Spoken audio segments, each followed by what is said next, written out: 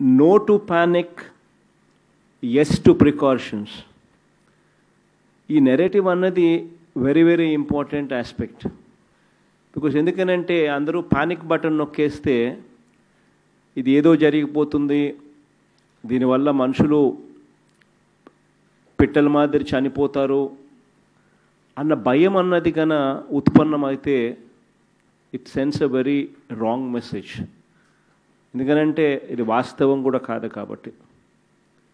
It is very important to say no to panic and yes to precautions that is very very important narrative that we need to take అవగాహన బాగా పెంచాలి. At the same time అపోహలను తొలగించాలి.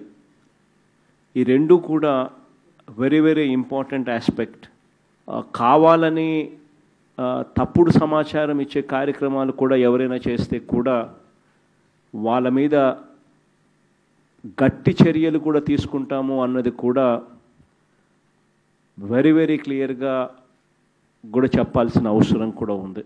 Because one should not create మిస్ఇన్ మిస్ఇన్ misinformation and through misinformation panic create చేసే కార్యక్రమం కూడా ఎవరు కూడా చేస్తే మాత్రం గట్టి చర్యలు తీసుకుంటామన్న మెసేజ్ మాత్రం ఖచ్చితంగా పంపించాలి. రాబోయే రోజుల్లో ఎలా ఉంటుందనే పరిస్థితుల్లో పానిక్ బయింగ్ చేస్తూ ఆ సరుకులన్నీ కూడా ఇంట్లో ఎక్కువ ఎక్కువగా స్టోర్ చేసుకోవడాలు ఇవన్నీ అవసరం లేదు. That is very important that you that the collectors send that message to every village panic buying అవసరం లేదు. ఎందుకనంటే షాప్స్ ఎవరు మూయరు. షాప్స్ అందుబాటులో ఉంటాయి. షాప్స్ మూసే కార్యక్రమం ఎప్పుడూ కూడా జరగదు.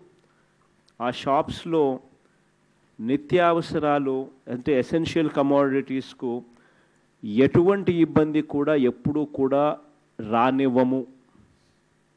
అన్న మెసేజ్ వెరీ వెరీ ఇంపార్టెంట్. కాబట్టి ఎవరు కూడా పానిక్ బయింగ్ చేయాల్సిన అవసరం లేదు. అన్నది వెరీ వెరీ ఇంపార్టెంట్ ఆస్పెక్ట్ కింద మనం ప్రమోట్ చేయాల్సిన అవసరం ఉంది. ఈ ప్రైసెస్ని ఈ ప్యానిక్ బయింగ్ క్రియేట్ చేసి ఫియర్ క్రియేట్ చేసేసి మిస్ఇన్ఫర్మేషన్ ఇచ్చేసి ఈ ప్యానిక్ బయింగ్ అయ్యేట్టుగా చేసి తద్వారా లాభపడాలి అని చెప్పి ప్రైజెస్ పెంచేసి లాభపడాలి అని చెప్పి ఎవరైనా ప్రయత్నం చేస్తే వాళ్ళ మీద కఠినమైన చర్యలు కూడా తీసుకోవాల్సిన అవసరం ఉంది. సో ఈ ప్రైజెస్ను దయచేసి మానిటర్ చేయండి. నౌ దట్ వీ హ్యావ్ గ్రామ సచివాలయాలు in every village make use of these గ్రామ secretariats get information from every village every town we have ward secretariats also in every every town so ఎక్కడా కూడా prices అన్నది విపరీతంగా పెంచే కార్యక్రమం ఏదన్నా ఈ ఇటువంటి పరిస్థితుల్లో ఎవరైనా పానిక్ బయింగ్ జరగకుండా చూసుకోవడము విపరీతంగా ప్రైజులు దీన్ని ఒక అవకాశంగా తీసుకొని ప్రైజులు పెంచే కార్యక్రమం కూడా జరక్కోకుండా జాగ్రత్తలు కూడా తీసుకోవాల్సిన అవసరం కూడా చాలా చాలా ఉంది. So please make sure that that is also attended to only మూడు కేసులు ఈ మూడు కేసులు కూడా ఇక్కడే ఉన్న మన ప్రజలకు వచ్చింది కాదు. ఈ మూడు కేసులు కూడా ఫారెన్ రిటర్న్ కేసెసే ఫారెన్ నుంచి వచ్చిన వాళ్ళకు మాత్రమే ఉన్న కేసులే ఈ మూడు కూడా. ఆశా వర్కర్స్ని ANM మెల్త్ medical health assistants who are in the గ్రామ సెక్రటేరియట్లలో పనిచేస్తూ ఉన్న వాళ్ళను I think all of you need a big appreciation ఇది కేవలం మీరు తీసుకుంటా ఉన్న చర్యల వల్లనే దిస్ డిస్ నాట్ ఇది పెరగలేదు. కట్టడి కాబడింది. అన్నది నిజంగా all of you need this appreciation from my side కేవలం eighty point nine percent of the people have been treated in home isolation అంటే ఎయిటీ వన్ పర్సెంట్ దాదాపుగా ప్రజలందరూ కూడా వాళ్ళకి ట్రీట్మెంట్ ఎక్కడ జరిగింది అని అంటే ఇళ్ళల్లో ఉండి వాళ్ళ వాళ్ళ ఇళ్ళల్లో ఉండే ట్రీట్మెంట్ జరిగింది. అండ్ నయం చైనాలో ఇంతకు ముందు చెప్తా ఉన్నట్టుగా eighty one thousand కేసెస్కు sixty five thousand cases have already been treated and they are already on the road మళ్ళీ మామూలుగా జీవ లేక వచ్చేసారు సో ఇది ఏదన్నా జరిగిందంటే ఇది పెద్ద మునిగిపోయే పరిస్థితి ఏదో వచ్చిందని చెప్పి దయచేసి ఎవరు కూడా కలత చెందాల్సిన అవసరం లేదు అన్న మెసేజ్ క్లియర్గా పోవాలి. కేవలం థర్టీన్ పాయింట్ ఎయిట్ శాతం మాత్రమే హాస్పిటలైజ్ అయిన కేసులు. కేవలం నాలుగు పాయింట్ ఏడు శాతం మాత్రమే ఐసీయూలోకి కూడా పెట్టబడిన కేసులు. అంటే ఐసీయూలోకి పోయే కేసెస్ కూడా ఎన్ని అని అంటే కేవలం ఫోర్ పాయింట్ సెవెన్ పర్సెంట్ మాత్రమే. నాలుగు పాయింట్ ఏడు శాతం మాత్రమే. హాస్పిటల్స్కి పోయిన కేసులు ఎన్ని అని అంటే కేవలం పదమూడు పాయింట్ ఎనిమిది శాతం మాత్రమే.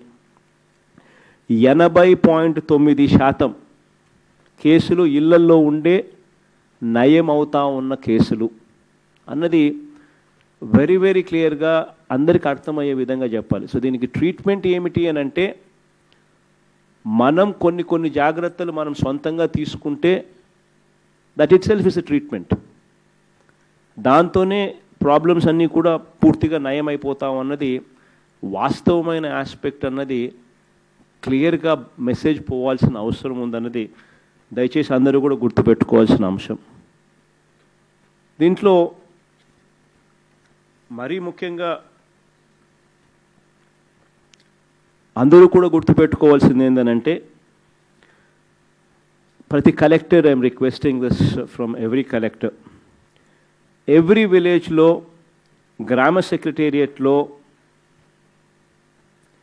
we have one ANM and కనీసం అంటే ఇద్దరు ఆశా వర్కర్లు ప్రతి గ్రామానికి ఉన్నారు. ఎవ్రీ రెండు వేల జనాభాకు ఒక గ్రామ సెక్రటేరియట్ ఉంది. అందులో ఏఎన్ఎం ఉన్నారు మెడికల్ అసిస్టెంట్. అండ్ ఎవ్రీ వెయ్యి మంది జనాభాకు ఒక ఆశా వర్కర్ కూడా రెడీగా అవైలబుల్గా ఉన్నారు. రెండు వేల జనాభా అంటే ఆల్మోస్ట్ ఎవ్రీ గ్రామానికి ఇద్దరు ఆశా వర్కర్లు కూడా ఉంటారు. వాళ్ళకు వీళ్ళు వీళ్ళే వీళ్ళే కాకుండా ఎవ్రీ యాభై ఇళ్ళకు మన దగ్గర ఒక వాలంటీర్ గ్రామ వాలంటీర్ అనే అనే వాళ్ళు కూడా ఉన్నారు. ఆ వాలంటీర్లకు అందరికీ కూడా యాప్ ఒకటి తయారు చేసి వాళ్ళ ఫోన్లలోకి కూడా app is available in their phones. With every volunteer వీళ్ళు ఈ యాభై ఇళ్ళకు సంబంధించి డేటాను కలెక్ట్ చేసి ఆ డేటానులో ఎక్కడైనా ఎవరి ఏదైనా ఇంట్లో ఫారెన్ రిటర్న్ రిటర్న్ ఎవరైనా ఉంటే వాళ్ళకు సంబంధించిన డీటెయిల్స్ ఏ దేశం నుంచి వచ్చినారు ఎప్పుడు వచ్చినారు ఫారిన్ రిటర్న్ అనే వ్యక్తి ఎక్కడ ఉన్నారు అని ఈ డీటెయిల్స్ అన్నీ కూడా ఆ యాప్ ద్వారా దిస్ వాలంటీర్ uh, ఈ డేటాను it is transfer the data is transfer to the health department and through the central server then the health department activates village లెవెల్లో అంటే గ్రామ సెక్రటేరియట్లో ఉన్న ఈ health health assistant and ASHA వర్కర్లను activate చేయడమే కాకుండా లోకల్గా పిహెచ్సి లెవెల్లో ఉన్న ఆ కనెక్టెడ్ పిహెచ్సి లెవెల్లో ఉన్న డాక్టర్సు పబ్లిక్ హెల్త్ స్టాఫ్స్ను కూడా సూపర్వైజ్ చేసే కార్యక్రమం it is been going on for the past few weeks మనం చేస్తున్నాము. దేవుడి దయతో Uh, operations have yielded very good results so far.